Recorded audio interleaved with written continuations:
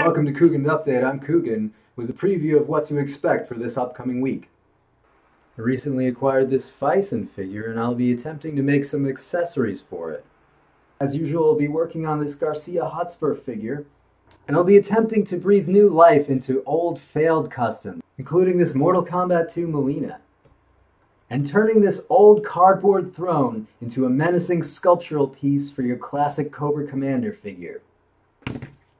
I'm Cougan. Thanks for joining me for this Cougend Update. Oh wait, no, um, I'm supposed to say, uh, this has been Cougend Update. Oh, also, I made a Patreon account. Um, so if you go to patreon.com slash Cougan, you can, um, give me money if you want. I mean, you don't have to. I'm gonna, I'm gonna still make videos and stuff regardless, you know, because I like it. But I'm hoping to turn this into something more than just a hobby. So if you could help me out a little bit, that'd be nice. All right, I'm gonna go. Bye.